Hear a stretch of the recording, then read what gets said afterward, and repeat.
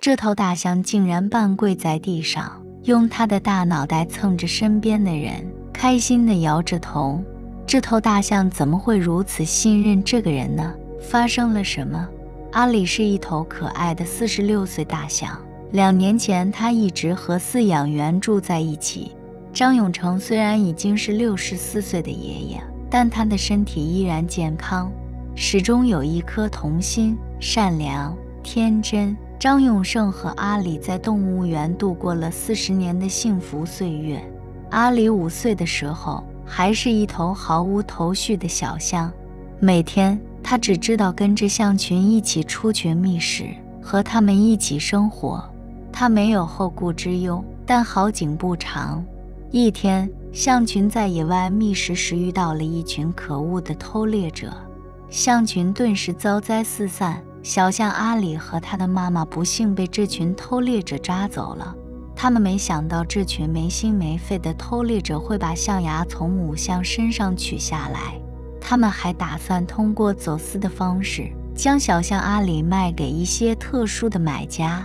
这段时间，他们四五天只给阿里喂一次。可怜的小阿里几乎瘦骨嶙峋，加上身上的伤，小阿里已经奄奄一息了。好在正义虽然迟到了，但还是来了。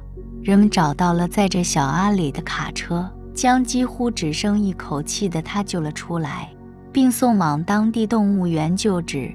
巧合的是，这个动物园就是张永胜工作的动物园。更巧的是，负责照顾小阿里的正是张永胜。张永胜还是个年轻气盛的人，哪怕是见惯了偷猎事件的他。看到小阿里，也忍不住流下了震惊的泪水。小阿里的状态太夸张了，长期营养不良让小阿里瘦得很瘦，小小的身子上布满了伤痕。心疼小阿里的张永胜接手了小象阿里的饲养员工作。尽管如此，这项工作一开始并不容易，因为小阿里目睹并经历了如此糟糕的事情。一整天都被恐惧的情绪所笼罩，不敢靠近任何东西，尤其是人类，包括守门员张永成，让他很为难。他不知道如何快速地靠近小象，这样阿里才不会害怕与人类接触。终于，张永胜干脆什么都不想做了，他决定用时间和陪伴来治愈小阿里的身心创伤。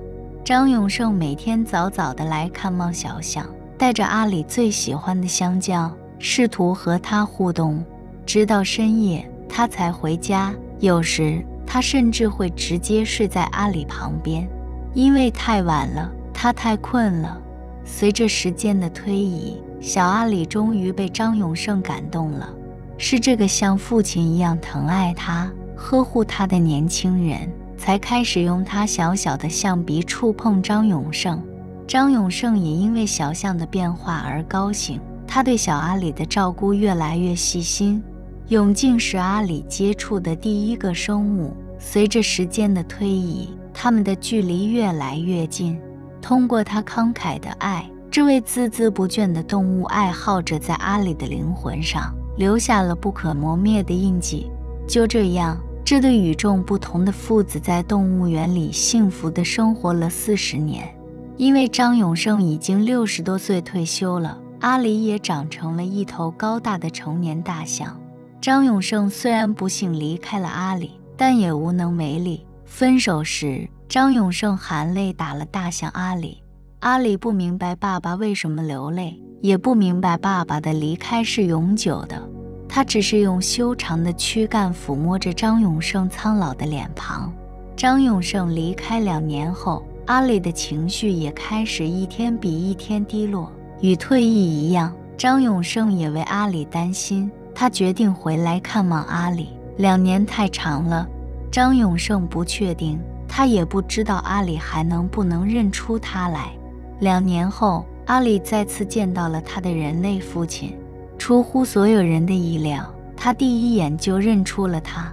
阿里立刻兴奋地跳了起来，毫不掩饰的高兴。长长的鼻子来回活动着。张永胜也很激动，他立刻跑到阿里身边，阿里半跪在他面前，父子俩激动而温柔地抚摸着对方。过了一会儿，张永胜拿了一根长长的软管给阿里洗澡，阿里也很配合，他们一如既往的相处，就好像从未分开过一样。接下来故事的主人公德里克·汤普森也和阿里、张永胜一样。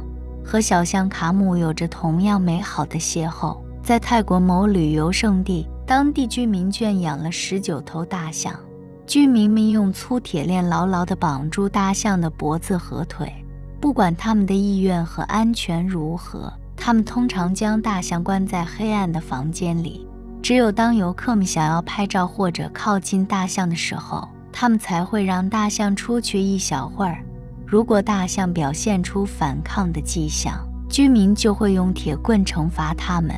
大象真的很可怜，它们的脖子和腿都被锁链勒死了。幸运的是，德里克·汤普森在当地警方的协助下找到了十九头受难的大象。德里克救了它们，把它们带回来，并把它们安置在他工作的动物保护区。获救的大象非常人性化。知道德里克救了他们和他们的伙伴，他们都信任德里克，差点把他当成象群的一员。尤其是其中一只名叫卡姆的小象，与德里克的关系最好，最信任他，也最依赖他。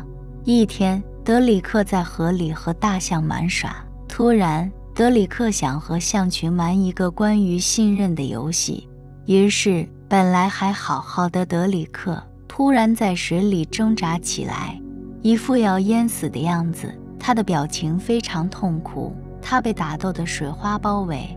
就在这时，兽群中一道矮小的身影率先冲了上去，是小象卡姆率先采取了行动。